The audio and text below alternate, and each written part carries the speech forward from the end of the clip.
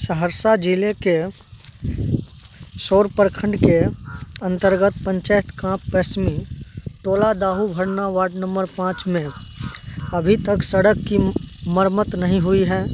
यहाँ और यहाँ पर 300 से 400 के बीच लोगों की जनसंख्या है और अभी तक यहाँ पर सड़क नहीं बना है, जबकि यहाँ के वार्ड सदस्य, मुखिया और जिला पदाधिकारी सब भी इसकी कोई सुनवाई नहीं लेती है। और यहाँ से हम लोगों को मार्केट जाने में काफ़ी परेशानी होती है और और बरसात के महीने में यहाँ पे काफ़ी दिक्कत होती है। हम लोग को पानी से झेलना पड़ता है।